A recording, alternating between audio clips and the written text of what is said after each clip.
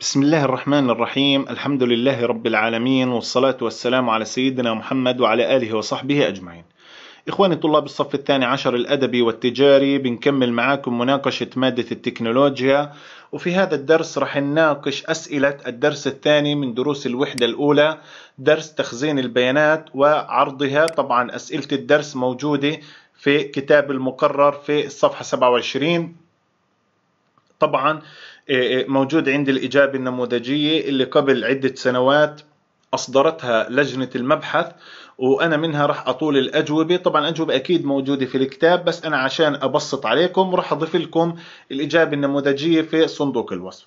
السؤال الأول موجود عندي فرعين الفرع الأول أذكر صفات التصميم الجيد لقواعد البيانات.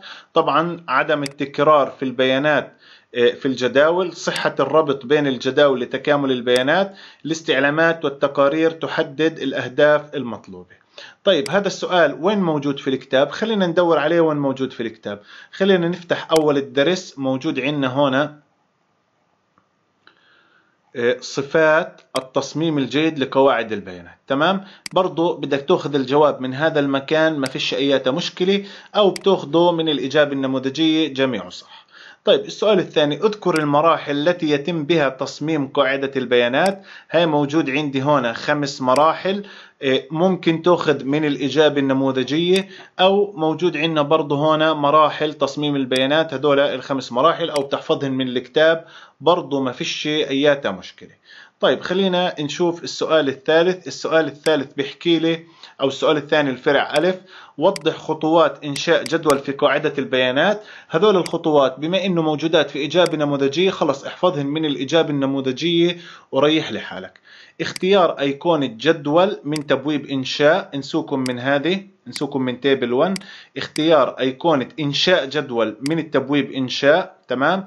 تحديد حقول الجدول تحديد نوع البيانات في كل حقل تحديد المفتاح الرئيسي أو المفتاح الأساسي للجدول. طيب النقطة ب هناك ثلاث أنواع من العلاقات وضح كل منها. طبعا أنواع العلاقات موجودة عندنا مفصلة في إيه، الكتاب اللي موجود عندنا في صفحة 22 هاي أنواع العلاقات مع إيه، تفصيل كل علاقة مع مثال. أو إذا بدك تأخذ أنواع العلاقات من الإجابة النموذجية واحد لمتعدد ومتعدد لمتعدد.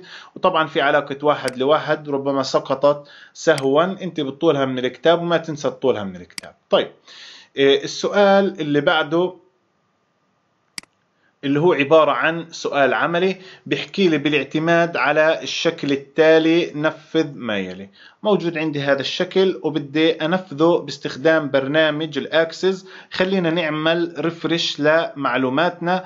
أول شيء بيحكي لي أنشئ قاعدة بيانات تحت عنوان بقالي واحفظها في جدولك. أنا بكون هون على سطح المكتب بالزر اليمين من عند جديد من عند مجلد. منشئ مجلد اسمي باللغة الإنجليزية. هاي علي عمر. خليل مثلا. علي اسم الرباعي باللغة الإنجليزية مع رقم جلوسي. تمام. وبعدين بفتح برنامج الأكسس. هذا الحكي جميعه عارفينه بس أنا براجعك مراجعة. هاي برنامج ال Access. أول ما أفتح برنامج ال Microsoft Access شو حاكي لي اسم قاعدة البيانات؟ قاعدة البيانات تحت عنوان بقالي. معناته لما يفتح برنامج ال Access إيه، العنوان راح يكون بقالي. اشتغل برنامج ال Access هون عند اسم الملف أنا بسميه بقالي. وبعدين من هذه الأيقونة بختار المكان اللي بدي أحفظ فيه قاعدة البيانات وضروري جدا هذه الخطوة. إذا ما سويتها بتفقدك العلامة بجوز. احتمال تفقد العلامة حتى لو شغلك صح. باجي هون عند وصول سريع شايفين هاي وصول سريع؟ عندي هون ديسكتوب وباجي هون على المجلد اللي أنشأته اللي عليه اسمي ورقم جلوسي. بعدين بعمل موافق بعدين إنشاء. وهذه اللي بتكون الجدول المفتوح بشكل افتراضي علشان ما أتخربط بسكره ولازم تكون عندي الشاشة بهذا الشكل. الآن بدي أنشئ الجدول الأول من عند إنشاء ومن عند تصميم جدول. هاي فتحت نافذة إنشاء جدول. خليني هنا آه أسحب الصورة هذه علشان أنشئ بناء عليها. إيه، الجدول الأول راح يكون اسمه customer table الجدول الثاني راح يكون اسمه product table الجدول الثالث راح يكون اسمه bill sales table طبعا قبل ما أسوي أي خطوة بحدد أسماء الجداول المفاتيح الأساسية والمفاتيح الأجنبية والعلاقات. العلاقات والمفاتيح مريحني محدد لي إياها. خلينا برضو من باب التأكيد على المؤكد نيجي نحكي cust ID هنا. عبارة cust ID. عبارة عن مفتاح أساسي علق البرنامج. هون عندي cust ID عبارة عن مفتاح أساسي هون عندي bill ID عبارة عن مفتاح أساسي وهون عندي food ID برضو عبارة عن مفتاح أساسي. طيب المفاتيح الأجنبية باجي بشوف وين في مفتاح أساسي تكرر معناته صار اسمه مفتاح أجنبي. cust ID هون أساسي اتكررت هون معناته أجنبي. food ID هون أساسي تكررت هون معناته أجنبي. والعلاقات موضحة. طيب جدول ال bill sales table هذا الجدول. بما إنه بيحتوي على مفتاحين أجنبيات معناته هذا الجدول إيش هو؟ جدول وسيط. معناته العلاقة بين هدول الجدولين هي متعدد لمتعدد. طبعا في البرامج ما فيش علاقة متعدد لمتعدد بس أنا بعرفهن معرفة إيه، ربما تلزمني هذا المعرفة. بس في البرنامج ما في. في الامتحان الكتابة آه في علاقة متعدد لمتعدد. الآن بنروح على الجدول وبنبلش ننشئ في إيه، الجداول باستخدام برنامج الاكسس إيه، الجدول اللي أنشأناه بتكون من أربع حقول ال cust ID وال cust name cust معناها زبون وال product معناها المنتج وهذا الجدول الوسيط أو بسموه جدول الفاتورة. هيك العرف يعني بين الزبون والمنتج الشيء المشترك جدول الفاتورة. إيه، موجود عندي cust ID cust name cust phone و address نيجي هنا هاي cust ID ID وبعدين customer name وبعدين customer phone وبعدين آخر إشي ال address. الآن ال ID راح تكون رقم. ID رقم. name اللي هو الاسم راح يكون نص. phone اللي هو رقم التلفون راح يكون رقم. وال address اللي هو العنوان راح يكون نص. طيب إيش المفتاح الأساسي في هذا الجدول؟ cust ID. أنا محدده على الورقة قبل ما أدخل على البرنامج. بنيجي عند cust ID بالزر اليمين مفتاح أساسي. إيش اسم هذا الجدول؟ customer table. بالزر اليمين حفظ. وبنسميه customer table. نيجي بنحكي موافق وبنسكر الجدول. بعدين بنعمل إنشاء تصميم جدول. وبنصمم الجدول الآخر. خلينا نصمم هذا الجدول اللي هو product table موجود عندنا food ID food name purchase price و sales price food ID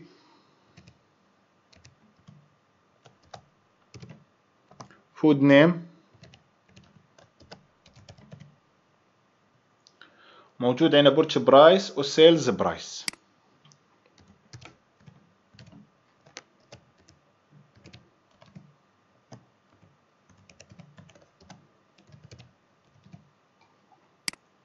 طبعا ما في مشكلة في الامتحان الوزاري إنك تحكي له مثلا هذه الكلمة إيش معناها علشان آه، آه، أنت تعرف إنه هاي النص ولا رقم تمام؟ ولا نوع ثاني.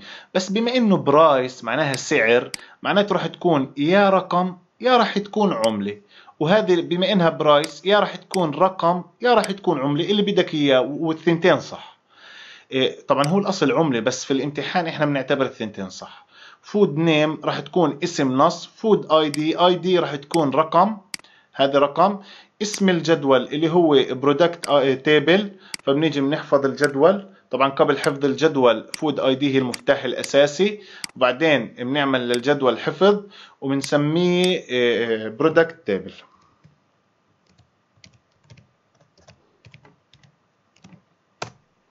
وبنسكر الجدول. الآن بنيجي للجدول الثالث إنشاء وتصميم جدول. ومن هذا الجدول بتكون من الحقول Bill ID Bill Date Food ID. هاي Bill ID. Bill ID. Date Food ID. وموجود عندنا الحقل Pay By و Cust ID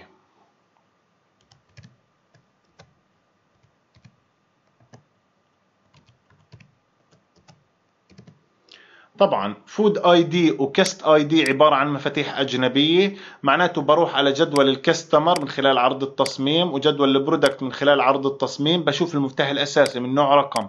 المفتاح الأساسي من نوع رقم معناته المفاتيح الأجنبية نفس النوع راح يكون هون رقم وهون ال Food ID راح تكون من نوع رقم.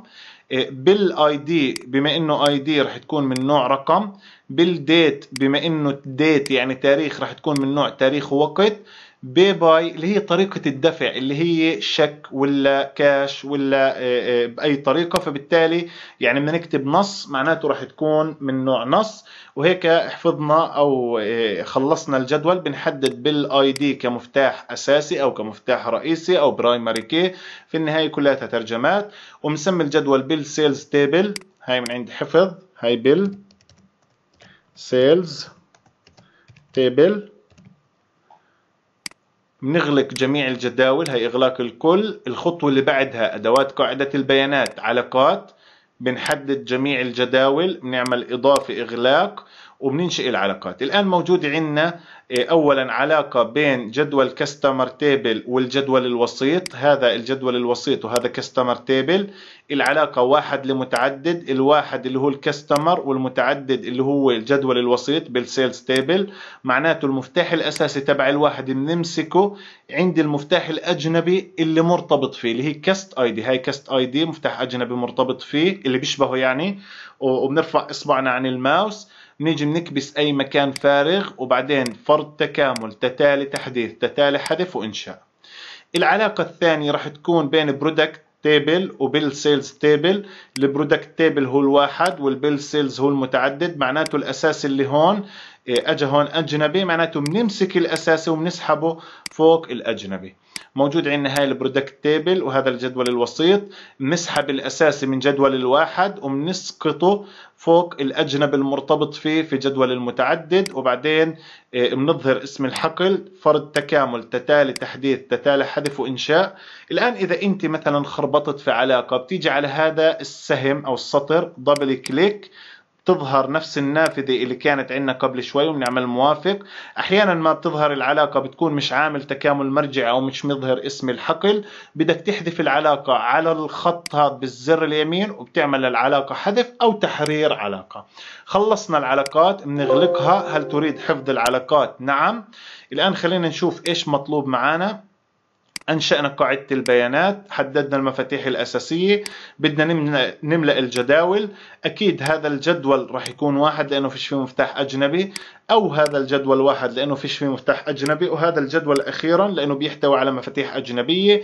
يعني فيش مشكلة تبدأ من هون أو من هون بس غلط إنك تبدأ من هون لأنه هذا بيحتوي على مفاتيح أجنبية. آخر إشي هذا الجدول. فبنيجي على جدول ال Customer هاي ال Customer وعبي البيانات اللي بدك إياها مثلا Cust ID اللي هي 10 Cust Name اللي هي علي مثلا بالعربي أو في الإنجليزي رقم التلفون هاي رقم تلفون Address مثلا جنين. إيه، بنضيف مثلا زبون آخر هاي 20 وهاي عمر. إيه، رقم التلفون أي رقم تلفون.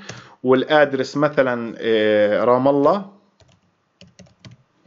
خلينا نضيف كمان زبون هاي رقمه 30 هاي اسمه عمار. عمار هاي رقم تلفونه. وهذه من طول كم؟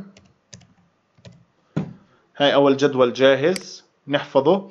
نيجي على جدول ال Product اللي هو المنتج. إيه، طبعا إيه، حكينا المنتج قبل الوسيط لأنه هذا ما بيحتوي على مفاتيح أجنبية بس الوسيط بيحتوي على مفاتيح أجنبية. خلينا نحكي هون Food ID مثلا 100 Food Name مثلا إيه، خلينا نقول number 1 مثلا Price خلينا نقول هون 22 222 آه، الفود آه، الثاني أو الصنف الثاني 200 مثلا. وخلينا نحكي مثلا هون اسم الصنف اللي هو جالكسي مثلا. وهنا بدنا نعبي القيمة هون هذه بدنا نخليها فارغة ما فيش مشكلة. آه، الصنف الثالث مثلا خلي المفتاح الأساسي له 300 وخليه مثلا سنيكرز